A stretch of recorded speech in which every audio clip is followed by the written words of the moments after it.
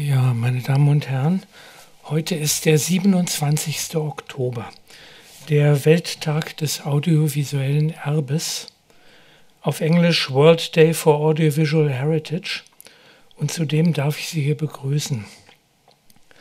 Das ist eine Einrichtung der UNESCO, die im Jahre 2005 von deren Generalkonferenz äh, beschlossen wurde, um auf die Gefährdung dieses Erbes hinzuweisen und Archive und Initiativen bei der Bewahrung desselben zu ermuntern. Warum gerade der 27. Oktober?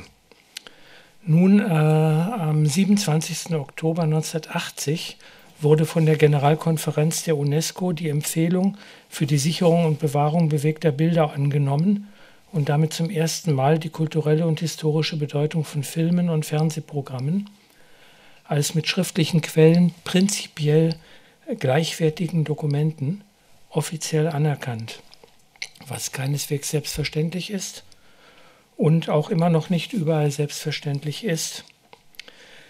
Die UNESCO selbst vollzog dann diesen Schritt in der Praxis, als sie 2001 als ersten Film Fritz Langs Metropolis in ihre Liste des Weltdokumentenerbes aufnahm. Seit es den Welttag des audiovisuellen Erbes gibt, beteiligen sich auch die FIAF-Archive mit Veranstaltungen daran.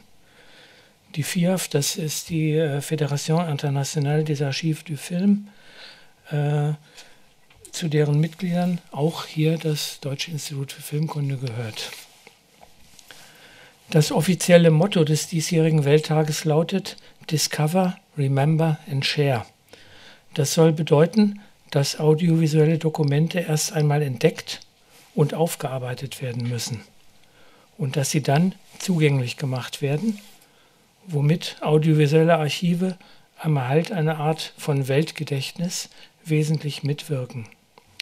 Der Beitrag des DIF in diesem Jahr ist die Digitalisierung des Films, den Sie gleich sehen werden, nämlich Kirmes von Wolfgang Staute aus dem Jahre 1960. Ich habe ausdrücklich Digitalisierung und nicht Restaurierung gesagt. Mit dem Begriff der Restaurierung wird ja heute sehr viel Schindluder getrieben, indem von manchen jede Digitalisierung zu einer solchen erklärt wird. Kirmes war niemals ein verlorener oder unzugänglicher Film, sodass das hauptsächliche Ziel dieser Digitalisierung die Verfügbarmachung des Films für den Kinoeinsatz mittels digitaler Verleihkopien, also DCPs, war. Nur die wenigsten Kinos können ja noch analoge äh, Filmkopien abspielen. Das heißt nun nicht, dass in die Digitalisierung nicht viel Arbeit eingeflossen sei. Ganz im Gegenteil. Vorlage war das 35 mm Original Bild- und Tonnegativ.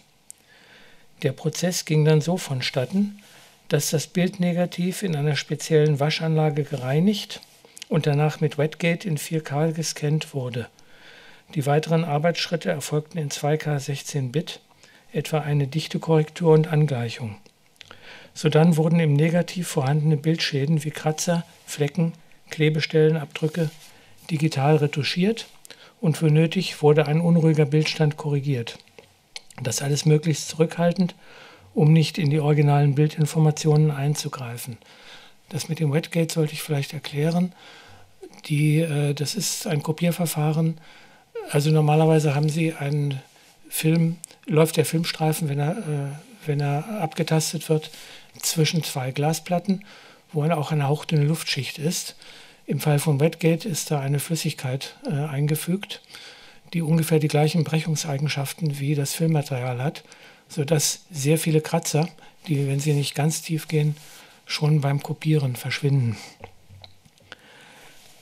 Ähm, ja, genau. Die Digitalisierung wurde unterstützt durch die Beauftragte der Bundesregierung für Kultur und Medien im Rahmen des Programms Digitalisierung des nationalen Filmerbes 2016. Dafür bedanken wir uns.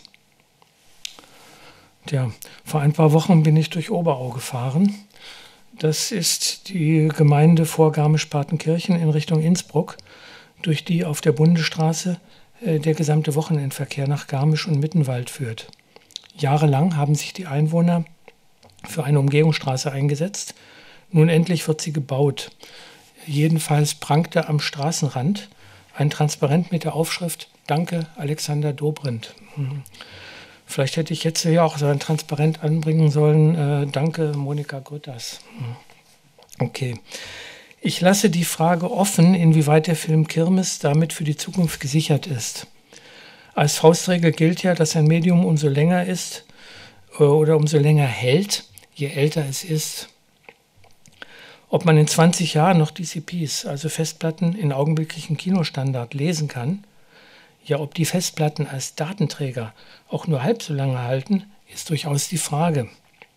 Ebenso wie hoch die tatsächliche Lebensdauer oder auch nur die Rückwärtskompatibilität von LTO5-Bändern ist, auf denen die Scan-Daten gesichert sind. Hm, das alles soll Sie aber nicht daran hindern, den Film Kirmes jetzt zu genießen. Eines der wichtigen Werke von Wolfgang Staute und ein Schlüsselfilm für die Auseinandersetzung der jungen Bundesrepublik mit dem Nationalsozialismus. Vielen Dank.